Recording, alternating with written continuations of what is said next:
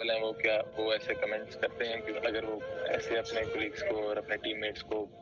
ऐसे करंट देते हैं तो आई गेस उनका ये भी है कि कल इंडिया वर्सेस श्रीलंका के दूसरे मैच में इंडिया जो है श्रीलंका से हार गई और इंडिया की पूरे हार का दारोमदार जो है अर्शदीप के ऊपर दिया जा रहा है क्योंकि अर्शदीप ने जो तीन नो बॉल डाल दी थी उसके बाद जो है अर्शदीप के ऊपर बोला जा रहा है कि अर्शदीप की वजह से इंडिया हार गई जबकि सिर्फ अर्शदीप की वजह से नहीं हारी इंडिया अपनी वजह से हारी है अर्शदीप ने सिर्फ और सिर्फ दो ओवर डाले और उसमें तीस प्लस रन पड़वा दिए जिसकी वजह से जो है अर्शदीप को बोला जा रहा है कि अर्शदीप ने हरवा दिया लेकिन ना ही इंडिया की बैटिंग अच्छी चली और ना ही उन्होंने बॉलिंग अच्छी करी स्टार्टिंग में बॉलिंग ठीक थी लेकिन उसके बाद जो है वो जो रन पड़ गया एक्स्ट्रा उसके बाद जो है स्कोर बहुत ज़्यादा हाई हो गया श्रीलंका का और सूर्य कुमार यादव और अक्षर पटेल के अलावा कोई नहीं चला बैटिंग में वही दोनों खेल पाए ना हार्दिक ना राहुल त्रिपाठी ना शुभमन गिल ना किशान किशन कोई नहीं चला जिसकी वजह से इंडिया हार गई ना कि सिर्फ एक प्लेयर की वजह से हारी